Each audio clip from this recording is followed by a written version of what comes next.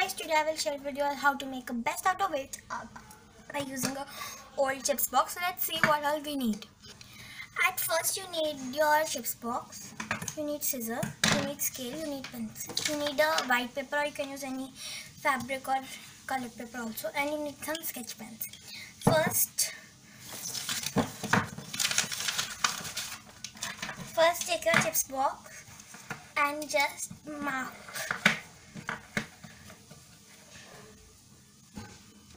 So this is my measurement. I have marked it. Now we have to cut this box.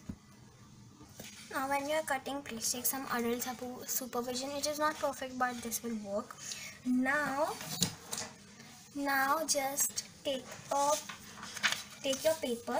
If it is plain, you can draw any design or if you want it to be plain, you can just keep it plain. Uh, draw some designs using sketches now I have drawn the design and I have drawn different sizes and different colors of hearts. Now we have to just cover this box with the paper. Once you have covered this it will look like this. It will be a little messy from this but the I, when I cut I have cut it actually uh, it didn't cut out properly. That's why it is a little messy but you can if you will uh, cut it out neatly then it will look very nice. Now uh, it is almost ready. The main part is ready. The base is ready. Now it's time. Now it's time to add the handles to it. Now in order to make the handles of it you can use wool chain thread. If you have a golden chain or something like that you can use that. That would look very nice. But that was not available with me so i'm using some red wool as it would go with the theme. And it would look good. Now just cut out some wool.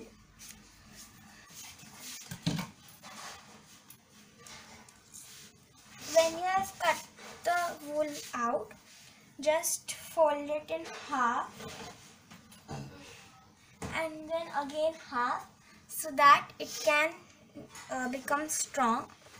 Now just attach it with one side over here now once you have tied it, it will look like this. Now just take these two strands and make a loop like this.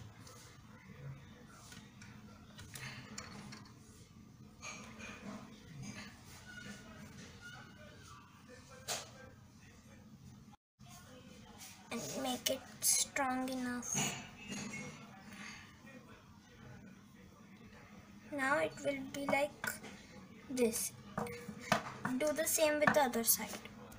And now just put some leaves of money plant inside this. You can also put artificial plant.